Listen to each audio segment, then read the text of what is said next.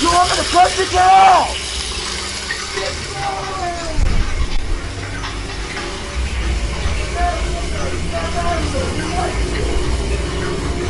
Ow.